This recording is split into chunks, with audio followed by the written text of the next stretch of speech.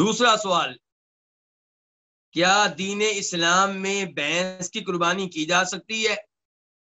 क्योंकि हमारे मुल्क हिंदुस्तान के बाद इलाकों में गाय को जिबा करने पर हुकूमत हिंद की तरफ़ से मुकम्मल पाबंदी लगा दी गई है। तो गुजारिश ये है कि मुसलमान की ज़िंदगी आजमाइशों से इबारत है। अल्लाह ताला अपने बंदों का इम्तिहान लेते हैं।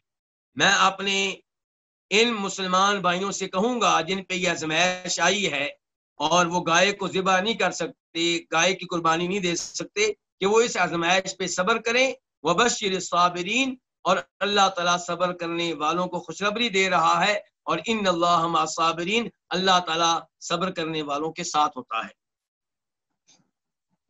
जहाँ पे पाबंदी लगा दी गई है वहाँ पुरअमन तौर पे आप हुकूमत से मुतालबा कर सकते हैं कि पाबंदी हटाई जाए।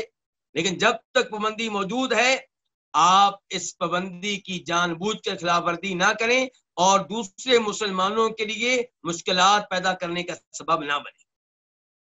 फिर क्या करें? आप बकरे की कुर्बानी करें, आप दुम्बे की कुर्बानी करें, भेड़ की कुर्बानी करें, मेंढे की कुर्बानी करें। आप कहते हैं कि ये चीज़ें तो बहुत महँगी हैं। हम नहीं कर सकते। तो फिर आप भैंस की कुर्बानी कर लें, क्योंकि भैंस के बारे में उलमाए अरब का ये कहना है कि भैंस गाय की एक किस्म है। ये कोई अलग से जानवर नहीं है। गाय कई अकसाम की होती हैं। उन अकसाम में से एक किस्म वो है जिसको पाकिस्तान, इंडिया के लोग भैंस कहते हैं। और, वो कहते हैं कि भैंस को अरबी में क्या कहते हैं? जामूस। जामूस लफज गौर करें, कहाँ से आया? फारसी के लोग भैंस को कहा करते थे गौ मैश। गौ यानी कि गाय है ये।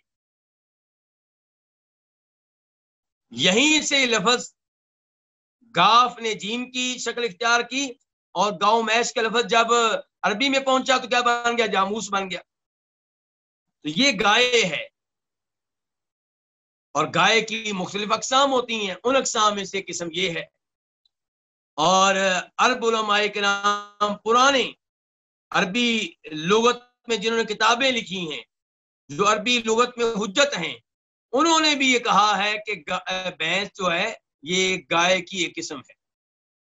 और इमाम अहमद बिन हम्बर रही से सवाल किया गया कि भैंस की कुर्बानी करें तो क्या उसमें सात लोग शरीक होंगे? कहने लगे, मुझे इस मसले में कोई इख्तलाफ मालूम नहीं है।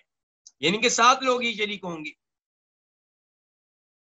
अलबत्ता कुछ उलमाए कराम को इस पे तहफात हैं और वो भैंस की कुर्बानी के कायल नहीं है। इसलिए अगर कोई आदमी गाय की कुर्बानी करे तो वो हर तरह के शुक शुबहात से बाहर निकल आएगा। वरना हकीकत यही है कि भैंस की कुर्बानी भी दुरुस्त है, ठीक है, इसमें कोई अर्ज़ नहीं है। खसूस हमारे वो भाई जिनका ताल्लुक उन इलाकों से है, जिन इलाके में गाय जिबा करना ममलू कर दी गई है, मना कर दी गई है, वो भैंस की कुर्बानी करें इनशाला इसमें कोई हर्ज नहीं है।